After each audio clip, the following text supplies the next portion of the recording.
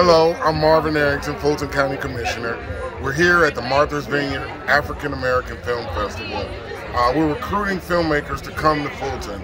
We want people to come live, work, stay, play, and stay in Fulton County. Uh, it's such a pleasure because today I'm with Maynard Jackson III.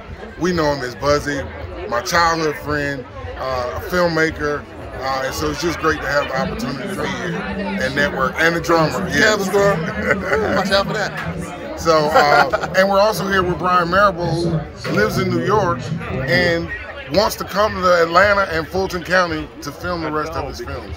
So we're so excited to be networking with filmmakers from around the country and inviting them to come film in Fulton.